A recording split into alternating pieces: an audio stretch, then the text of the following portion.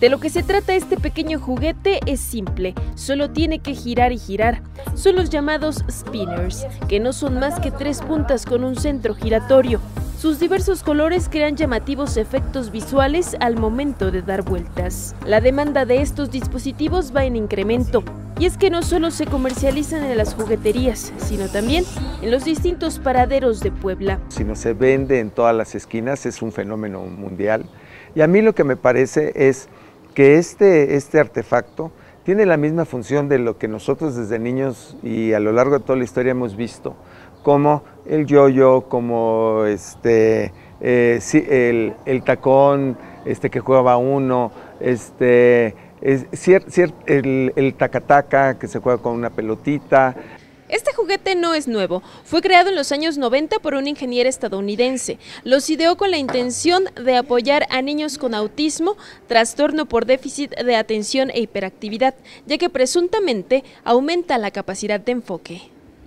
Los expertos en educación especial consideran que los spinners son solo una forma de entretenimiento y hasta el momento no se ha verificado que pueden servir como un método de enseñanza para personas con estos trastornos.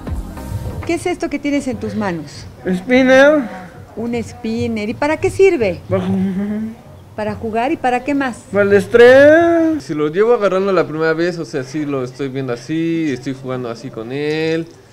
Pues, la verdad sí, sí, la verdad sí me sienta este tranquilidad, este pero ya este ya pero ya por poquito y ya este ya lo estoy girando ya quiero hacer otra cosa y ya. Puede ser un instrumento más bien como de entretenimiento en donde cuando hablamos de los chicos autistas eh, probablemente ellos les gusta dar mover las este, los objetos etcétera.